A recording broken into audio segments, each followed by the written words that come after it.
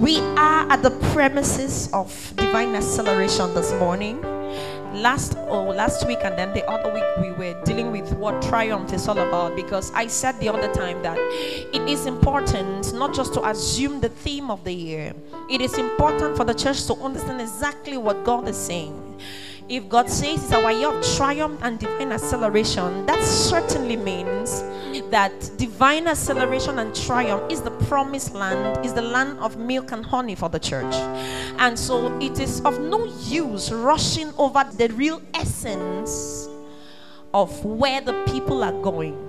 And so I thought it wise, and I know the Spirit of God is leading me to prophetically, strategically, communicate the theme of this year so that we can run with it. The Bible says in Habakkuk says, write the vision and make it plain that he that run it can run smoothly.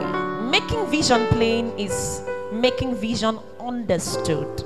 And I'm believing God this morning that somebody will understand exactly where God is taking us to this year in the name of Jesus. And so last week we were dealing with the man Elijah and we drew our inspiration and our drive from the speed of Elijah who overtakes Ahab at the gate Jezreel.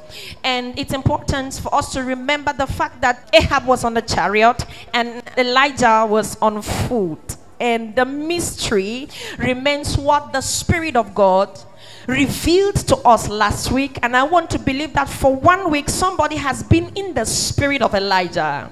I say, I want to believe that for one week and through this year, you and I will be walking at the pace, at the speed of the spirit of Elijah.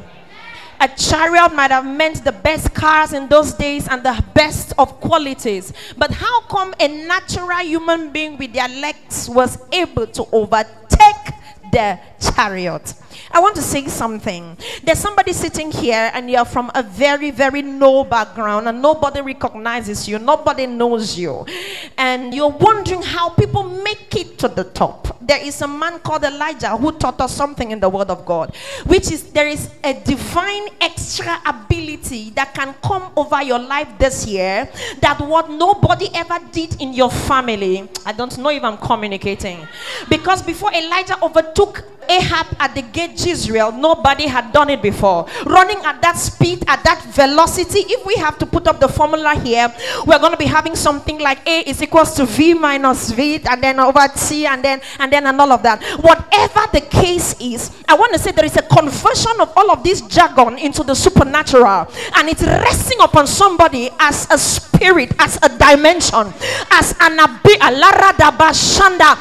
an ability, as a drive to arise out of your bed of sleep and slumber and begin to do what you could not do before. To arise, I don't know what you did before that frustrated you. To try it again, try that business again, to try that career again. I don't know who I'm talking to here. To try that thing again because this year you're not doing it by your might, you're not doing it by your power, you are doing it by the Spirit, and the Spirit of speed is the Spirit of Elijah. It's resting upon Zion family this year. Let me hear people say a loud amen.